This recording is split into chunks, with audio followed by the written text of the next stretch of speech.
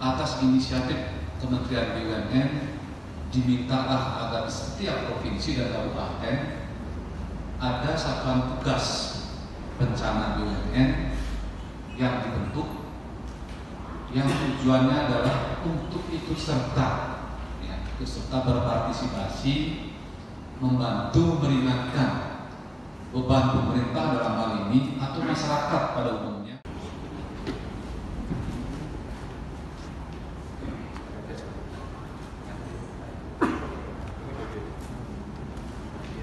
Ya. Iya.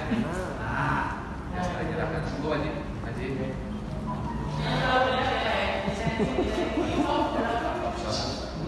Jadi seperti yang saya sampaikan tadi bahwa kami ya dari uh, BUMN tentu melalui uh, instruksi dari Kementerian BUMN melalui Satgas Nasional kemudian dibentuklah Satgas tingkat provinsi tentu semua ini adalah rasa keprihatinan kami semua atas musibah yang sedang kita alami semua dan kita tahu bahwa COVID-19 ini sudah membawa dampak yang luar biasa seluruh sendi kehidupan kita baik dari segi sosial maupun ekonomi.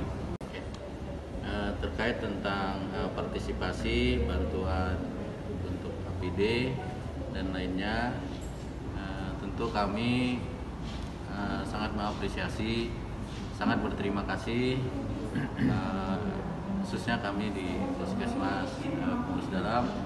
Eh, sampai hari ini APD masih cukup yang persediaan dari dinas karena dinas kesehatan eh, sudah maksimal pengadaannya.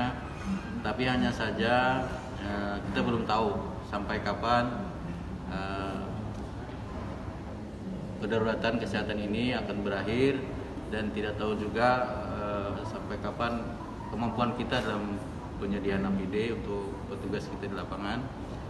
Eh, dan alhamdulillah apa pun yang partisipasi bantuan dari mana pun termasuk dari alhamdulillah dari eh, Satgas BUMN ini eh, kami sangat berterima kasih sekali